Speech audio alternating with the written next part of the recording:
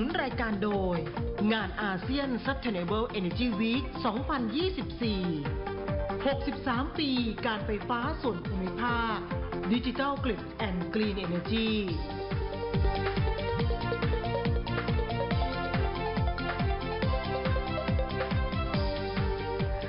สวัสดีค่ะท่านผู้ชมค่ะ ต้อนรับเข้าสู่พลังงานไทยใหญ่อุดมดิฉันสร้อยฟ้าโอสกลทิพย์นะคะ พบกันที่นี่นะคะ จันทร์อังคารพุธเวลานี้นะคะ วันนี้ 1 เมษายนวันข้าราชการพลเรือนนะคะ ก็ส่งพลังใจพลังบวกนะคะ ให้กับข้าราชการทั้งประเทศด้วยค่ะ เดือนเมษายนนี้เป็นเดือนที่ต้องลุ้นระทึกกันนะคะลุ้นระทึกราคาน้ำมันดีเซลค่ะ เมื่อกองทุนน้ำมันนั้นจะลดระดับความช่วยเหลือลงไป ราคาดีเซลในบ้านเราจะปรับขึ้นมากน้อยแค่ไหนนะคะเพราะว่าวันนี้เนี่ยถ้าไม่มีการชดเชยด้วยเงินกองทุนเลย ถ้าไม่มีการช่วยเหลือเลยเนี่ยดีเซลเนี่ยจะ 35 บาทแล้ว แต่วันนี้ตรึงราคาไว้ไม่เกิน 30 บาทต่อลิตรนะคะ 1 เมษาวันนี้ 1 เมษานะ ราคาดีเซลทุกปั๊มยังตรึงอยู่ไม่เกิน 30 บาท แต่จะค่อยๆ ทยอยปรับราคาขึ้นนะคะ ย้ำว่าวันนี้ยังเป็นราคาเดิม คณะกรรมการบริหารกองทุนน้ำมันเชื้อเพลิง หรือว่ากบน เห็นชอบการลดอัตราการช่วยเหลือที่จะอุดหนุนน้ำมันดีเซลนั่นเองค่ะ คุณวิศักดิ์วัฒนศัพท์ ผู้อำนวยการสำนักงานกองทุนน้ำมันเชื้อเพลิงบอกว่า ที่ประชุมกบนได้หารือถึงสถานการณ์ราคาน้ำมันดีเซลขายปลีกในประเทศที่กองทุนน้ำมันประกาศอัตราชดเชย ซึ่งที่ประชุมกบนเห็นชอบให้ปรับลดอัตรากองทุนน้ำมันประเภทดีเซล เพื่อให้ราคาขายปลีกดีเซลในประเทศ สามารถเกิน 30 บาทได้นะคะ แต่ว่า 1 เมษายนนี้ยังเป็นราคาเดิมนะคะ เฉพาะวันนี้ไม่เกิน 30 บาทค่ะ ก็ทำไมต้องลดเงินอุดหนุนดีเซลล่ะ ก็เพราะว่ากองทุนน้ำมันนั้นติดลบใกล้ ๆ จะแสนล้านบาทแล้วค่ะฐานะกองทุนน้ำมันเชื้อเพลิงสุทธิณวันที่ 24 มีนาคมที่ผ่านมาติดลบไป98,220 ล้านบาท บ่งเป็นบัญชีติดลบน้ำมันเนี่ย51,000แล้วก็ก๊าซ LPG อีก 48,000นะคะ อันนี้ก็คือฐานะของกองทุนน้ำมันค่ะถ้าไม่มีการชดเชยจากกองทุนน้ำมัน หรือว่าลดความช่วยเหลือลงแล้ว ราคาดีเซลนั้นจะไปต่อแรงแค่ไหนนะคะ กระทรวงพลังงานก็เตรียมเสนอที่ประชุมคณะรัฐมนตรีค่ะ ของบกลาง มาช่วยเหลือกองทุนน้ำมันมาช่วยเหลือ ชดเชยราคาน้ำมันดีเซล หรือขอให้กรมสรรพสามิตเนี่ยลดภาษีสรรพสามิตน้ำมันดีเซลลงมานะคะเพื่อที่จะให้ผู้ใช้ดีเซลนั้นไม่เดือดร้อนเกินไปนั่นเองค่ะ แล้วก็บอกว่าหากถ้ารัฐไม่ช่วยครมไม่เห็นชอบตรงนี้ รัฐไม่ช่วย ราคาดีเซลก็จะค่อยๆ ขยับขึ้นขยับขึ้นจาก 30 บาทขึ้นไปนั่นเอง เข้าสู่ความจริงค่ะ คุณวีรพัฒน์เกียรติเฟื่องฟูโฆษกกระทรวงพลังงานบอกว่า หลังจากที่กระทรวงพลังงานได้ตรึงราคาดีเซลไว้ไม่เกิน 30 บาทต่อลิตร เพื่อลดภาระค่าใช้จ่ายให้ประชาชน ตั้งแต่กันยายนปี 66 ที่ผ่านมาทำให้ปัจจุบันนี้กองทุนน้ำมันเชื้อเพลิงนั้นติดลบใกล้แสนล้านบาทแล้วเป็นหนี้ค่ะทางนี้เพื่อไม่ให้กองทุนน้ำมันเชื้อเพลิงมีภาระหนี้มากเกินไป กระทรวงพลังงานเตรียมนำเรื่องเข้าหารือในที่ประชุมครม เพื่อหาแนวทางช่วยเหลือประชาชน อาจจะเป็นการของงบกลางนะคะของงบกลางหรือว่าขอลดภาษีสรรพสามิตน้ำมันดีเซล ซึ่งหากไม่มีงบประมาณเข้ามาช่วยเหลือ กองทุนน้ำมันก็จำเป็นต้องปรับลดอัตราการชดเชยลงนะคะ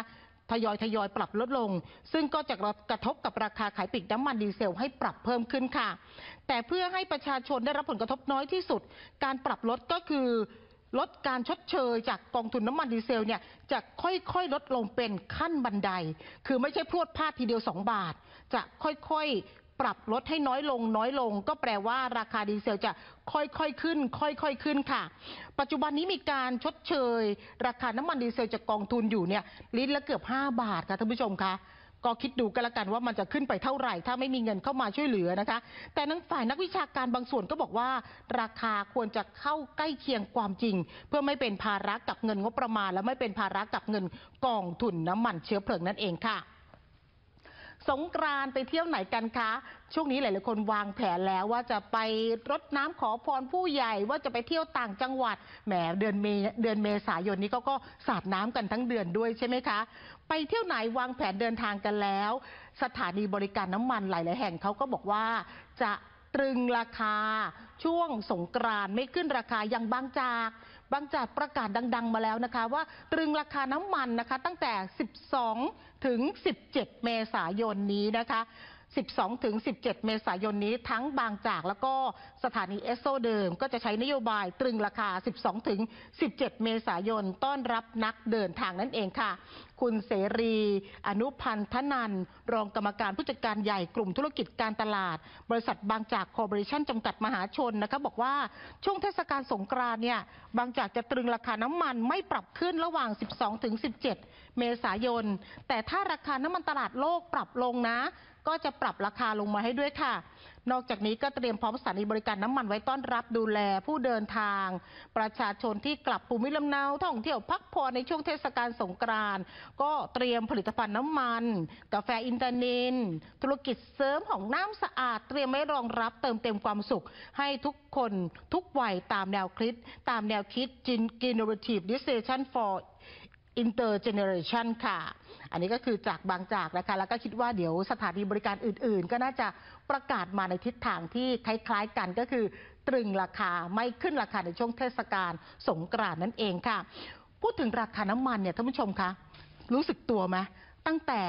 มกราคมจนถึงวันนี้เนี่ยราคาน้ำมันดีเซลเอยขอโทษค่ะ ราคาน้ำมันเบนซิน น้ำมันแก๊สโซฮอล์เนี่ย ปรับขึ้นไปแล้วกี่ครั้ง รวมๆแล้วเนี่ยขึ้นไปทั้งสิ้น 4 บาท 30 สตางค์ต่อลิตรแล้วนะ มกรากุมพามีนา 3 เดือนนี้นะคะเป็นไปตามแนวโน้มตลาดโลกราคานะคะ เมษายนนี้ถามว่าจะขึ้นอีกไหม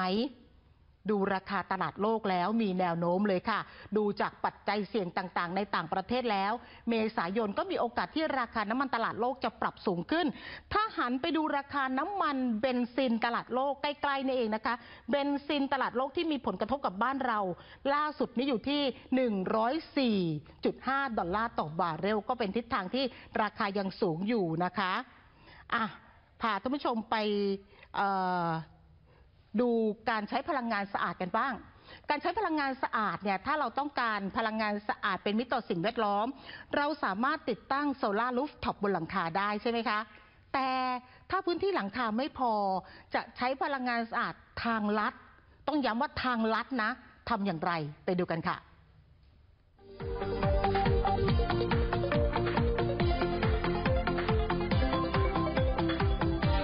ท่านผู้ชมคะ ประเทศไทยมีความต้องการใช้พลังงานสะอาดมากขึ้นค่ะ และสำหรับประเทศไทยนะคะมีการตั้งเป้าหมาย ลดการปล่อยก๊าซเรือนกระจก บริษัทต่างๆ ตั้งเป้าหมายมุ่งสู่ carbon neutrality นะคะ บริษัทเอกชนเองก็ต้องการใช้ไฟฟ้าสีเขียว เพื่อผลิตสินค้าส่งออกไปยังสหภาพยุโรปนะคะ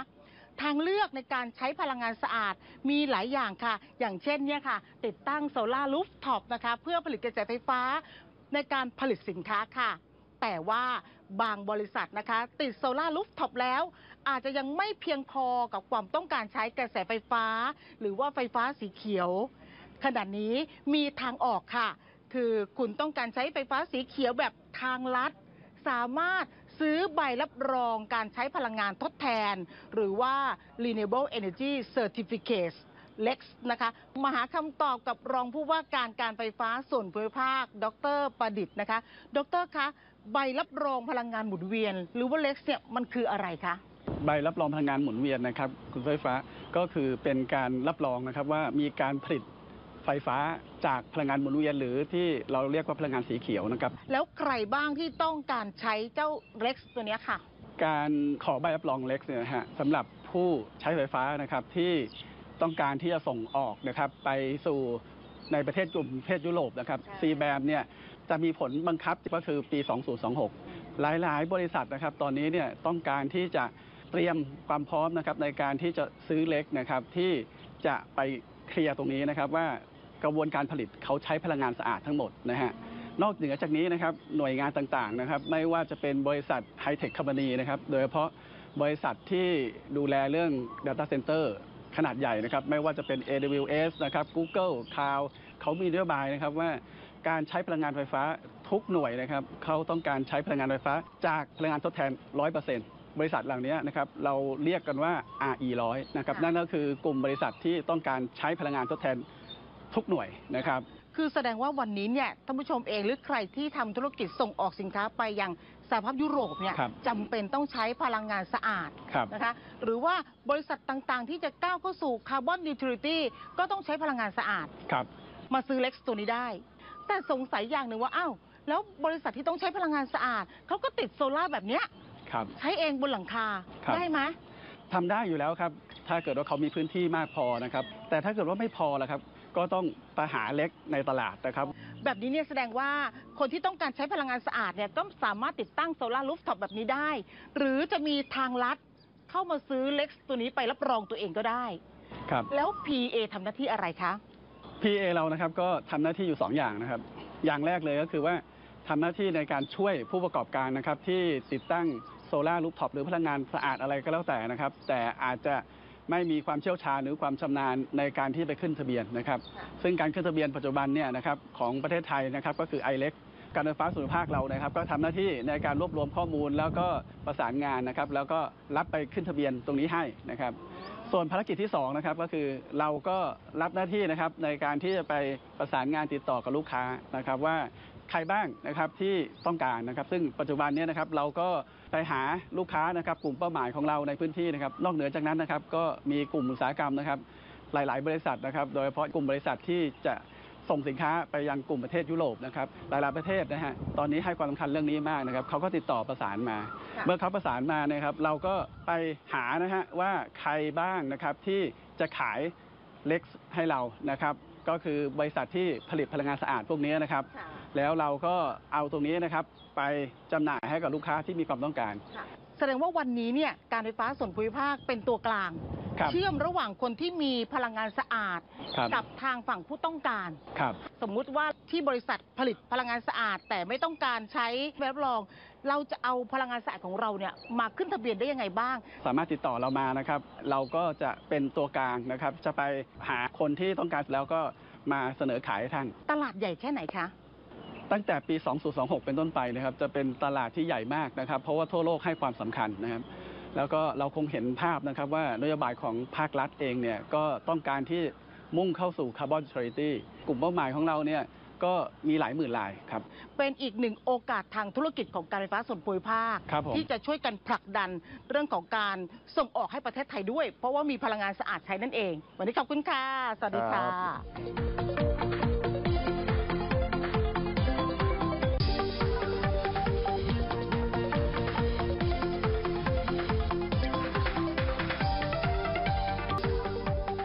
นุนรายการโดย โยคะนมัสเตสอนโยคะตามตำราโยคะดั้งเดิมท่านผู้ชมคะเดือนเมษายนนี้นะคะทิศทางราคาน้ำมันจะเป็นอย่างไรติดตามได้พรุ่งนี้นะคะ รวมถึง Exim Bank ส่งเสริมธุรกิจไทยใช้พลังงานสะอาด พบกันวันพรุ่งนี้นะคะ วันนี้สวัสดีค่ะ